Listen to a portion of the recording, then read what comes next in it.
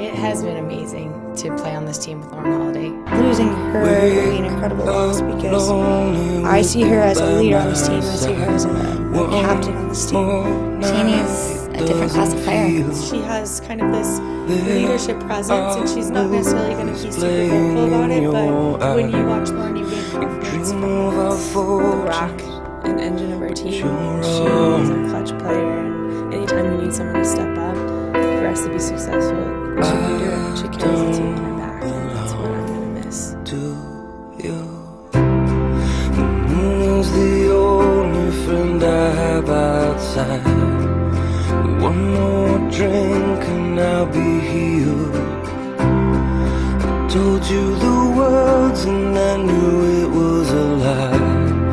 I wish I could offer an appeal. You're